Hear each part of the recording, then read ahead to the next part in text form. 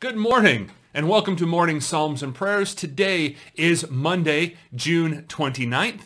Today we are going to begin again with a prayer from Hughes Oliphant Old, a prayer for illumination as we prepare to read God's holy word. Let us pray. Blessed you are, Lord, great God, God and Father of our Lord Jesus Christ. Your commandments are our delight, and your grace is our greatest joy. Fill us with that glad light, that warm flame and peaceful glow your Holy Spirit, the Spirit of truth, the counselor Christ has sent us. Lead us in the path of your commandments, in the ancient way of your will. Through Jesus Christ our Savior. Amen. All right, we are continuing through the Psalter. We are on Psalm 20 today. Hear the word of the Lord. May the Lord answer you in the day of trouble. May the name of the God of Jacob protect you. May he send you help from the sanctuary and give you support from Zion.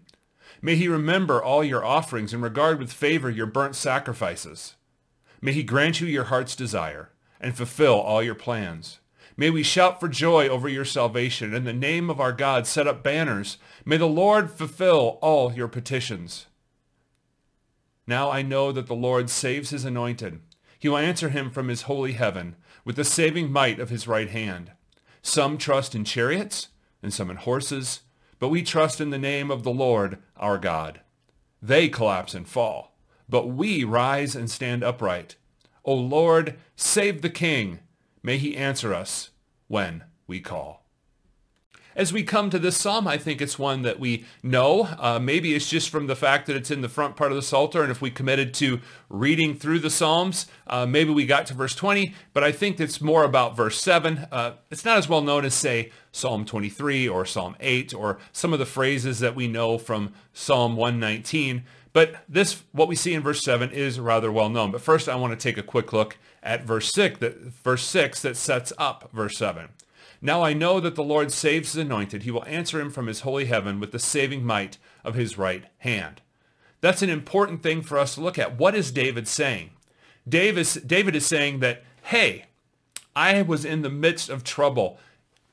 The king of God, his anointed, was under attack. But what happened? He trusted in God and he was spared. Well, why would God do that? Why would God save his anointed? Well, David, as we will see as we continue through Scripture is is the one through whom the Christ would come. There were uh, that that the promise of the salvation of the Messiah would come. And so it's important for us to understand this. We know that the Lord saves his anointed because God keeps his promises. He answers from heaven. He saves him with his mighty right hand.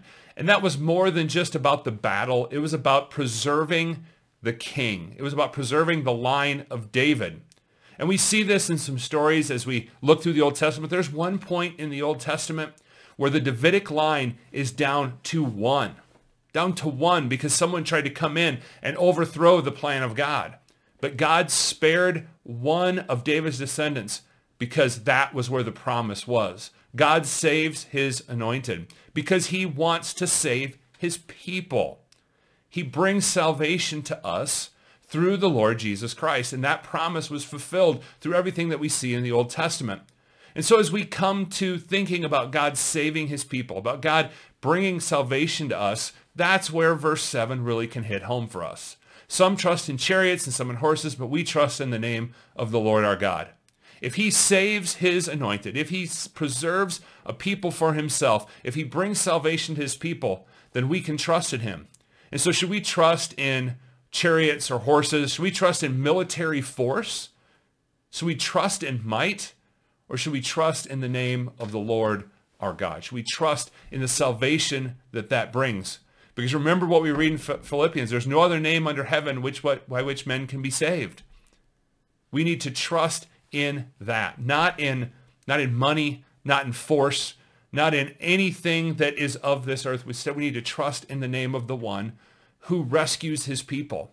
And that is God in Christ reconciling his people to save them from sin, death, and hell. And that is so important for us to remember that we need to trust not in these earthly things, but we trust in the name of the Lord our God. And so may we, as the people of God, show this to the world. When things are happening around us, whether in the world or in our personal lives, let's trust that God has saved us and so we can have confidence in our lives. We can trust in him. Let's put our trust in him today. Let's stand strong in the truth that our God saves his people. And because we are in Christ, we know that we are one of those people. Let us go to prayer. Father in heaven, we come to you this morning and trust in you because we know that you answer your people in our day of trouble. We shout for joy in your salvation and we bring our petitions to you because we know that you hear the prayers of your people. And today we give you thanks for all the provisions you have provided for us. You have blessed us in so many different ways. You provide shelter for us and we have food to eat. We have families that love us and too many other blessings to name. Grant that we would see these many blessings that are provided by your gracious hand as gifts from you, and may we not take them for granted. Bless us with a spirit of thankfulness for all that you have provided for us. And as we begin this day, we pray that we would not trust in chariots or horses or any other earthly power. We trust in the name of the Lord our God and know that you have, have saved your people by your mighty hand. We pray that you would embolden us today to share the good news and live a life of gratitude for who you are and what you have done for us in Jesus Christ. It is in his name that we pray. Amen. Okay.